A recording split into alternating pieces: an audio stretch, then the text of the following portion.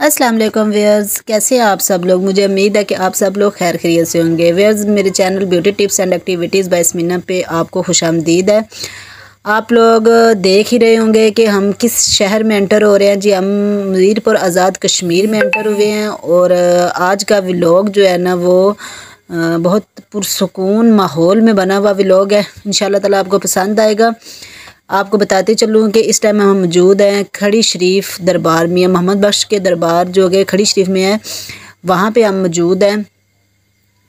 तो main entrance पे आपने देख लिया कि बास्केट्स पड़ी हुई है, जूते यहीं पे उतारे जाते हैं और इसके, इस गेट के साथ ही जो है ना, ये स्टॉल्स स्टार्ट हो जाते हैं, जहाँ पे मुख्तलिफ़ किस्म की चीज़ें आपको मिल जाएँगी। लेकिन मैं आपको ये भी दिखाऊँगी, सबसे पहले आपको व्यू दिखा दूँ खड़ी शरीफ दरबार का।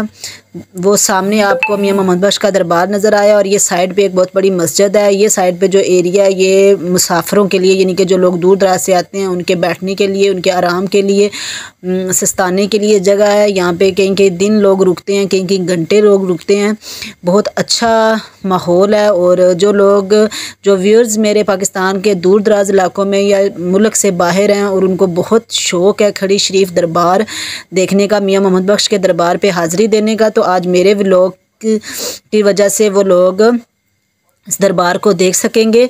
मैं आपको साथ साथ ये जो है शॉप्स का भी बता दूँ, ये स्टॉल्स लगे हुए मुख्तलिफ़ किस्म की चीज़ें ज्वेलरी आपको और इसके अलावा की चेन्स, उसके अलावा आपको हर तरह की यहाँ पे मुख्तलिफ़ किस्म की चीज़ें मिल जाएँगी, खिलौने मिलेंगे, तस्बियाँ इस यहाँ पे मिलेंगी और बच्चों की, बड़ों की, हर तरह की चीज़ें आपको यहाँ पे मिलेगी। बहुत बड़ा स्टॉक यहाँ पे मौजूद होता है, बहुत ज़्यादा शॉप्स हैं जो कि गेट के साथ से ही स्टार्ट हो जाती हैं, देख आप चूड़ियाँ हैं कुछ चीज़ें यहाँ पे आपको ट्रेडिशनल भी मिलेंगी और कुछ आपको लोकल भी मिलेगी तो ब्रेसलेट्स मिलेंगे।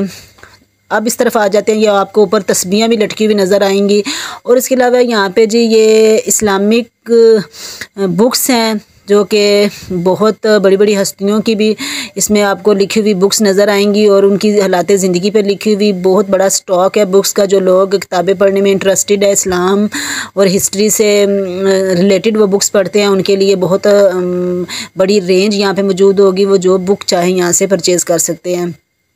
क्योंकि मुझे तो बहुत शौक़ है किताबें पढ़ने का, लेकिन बस अगर किसी के पास टाइम है इतना कि वो किताबें पढ़ सके तो वो फिर तो बहुत अच्छी बात है। ये देखें जी, सैफल मलूक मियाँ मोहम्मद बख्श, कलाम पीर, मैर अली शाह, बहुत मशहूर मशहूर किताबें जो है ना, वो यहाँ पे मुझे देखने को मिली और बहुत अच्छा लगा मुझे इन तमाम बुक्स को देख के। ये देखें, आप तस्वीरें देख लें, उसके अलावा जो है ना, इस तरफ़ आ जाएँ तो आपको ये की चेन्स नज़र आएँगे। इस तरफ़ ये वुडन आपको डेकोरेशन पीसेस नज़र आएँगे, लकड़ी की बनी हुई बहुत ज़्यादा यहाँ पे आपको चीज़ें नज़र आएँगी ज्वेलरी बॉक्स पॉट्स उसके अलावा जो है ना वो आपको मट्टी के बर्तन नज़र आएँगे।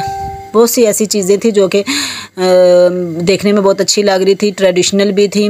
और इसके अलावा इस तरफ़ जो है ना वो छोटे बच्चों की ज्वेलरी हर तरह के बैंगल्स मतलब ब्रेसलेट्स छोटे छोटे बच्चों के हाथों पे बांधने वाले जो धागे होते हैं, वो भी तो बहुत सी चीज़ें थी यहाँ पे। इसके अलावा ये आप लोग देख लें, ये जो है ये स्टोन्स जो कि लोग लगवाते हैं, अपनी रिंग्स वगैरह में, वो थे यहाँ पे। और बहुत खूबसूरत ओरिजिनल लग रहे थे। मैंने पूछा भी था शॉपकीपर से वो कह रहा था कि ओरिजिनल है टोपियाँ देखिए, आपको यहाँ पे रंग बिरंगी मिलेंगी, ये वुडन स्पून्स मैंने सोचा कि गेट से एंटर होते ही आप को जो है ना वो थोड़ा सा शॉप्स दिखाने के बाद जो है ना, फिर मैं हम लोग आगे चलेंगे, क्योंकि शॉप्स तो बिल्कुल साथ ही थी। तो उसके बाद आगे दरबार शरीफ था और ऐशम साहब ने आइसक्रीम खानी थी तो उन्होंने आइसक्रीम ले ली। उसके बाद आप लोग देख सकते हैं, ये बहुत बड़ा सहन है, इसका इंस्ट्रक्शंस पढ़ लेते हैं। जहाँ भी कहीं जाते हैं तो सबसे पहले इंस्ट्रक्शंस लिखी हुई होती हैं, वो लाजमी पढ़नी चाहिए और फॉलो भी करना चाहिए, ताकि आगे जाके कोई मसला, मसाइल ना हो। ये बैक साइड पर आप देख रहे हैं, कब्रस्तान है। कब्रस्तान बहुत बड़ा है दरबार में जब हम लोग एंटर हुए तो मेन गेट से पहले भी कब्रस्तान से ही गुजर के मेन गेट तक आया जाता है पार्किंग पार्किंग है, और उसके बाद कब्रस्तान है, फिर उसके बाद जो जहाँ से हम लोग एंटर हुए, दो गेट हैं, एक बैक साइड वाला, एक फ्रंट वाला, हम लोग बैक साइड वाले गेट से एंटर हुए थे। आप लोग देख सकते हैं कि असल में ये जो दरबार शरीफ का जो सहन है, इस सहन में भी आपको बहुत सी कब्रें नज़र आएँगी। इनके इर्द गिर्द चारों तरफ़ कब्रस्तान है इस दरबार के, जो मियाँ मोहम्मद बख्श के रिश्तेदार बहन भाई माँ बाप जो जितने भी मरीद, सब के कब्रस्तान जो है ना, वो इधर ही हैं।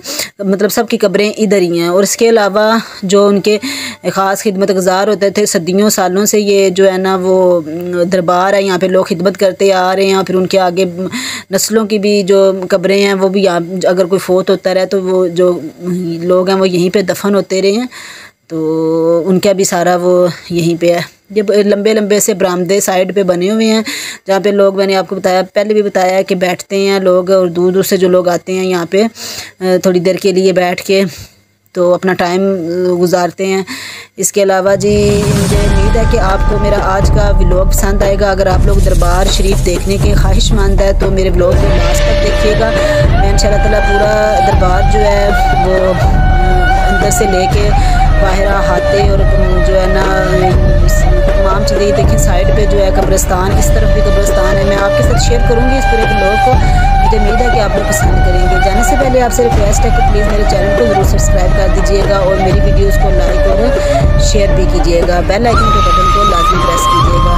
आप लोग दरबार शरीफ देखें और मुझे दे इजाज़त। इन नेक्स्ट किसी ब्लॉग में मुलाकात होगी।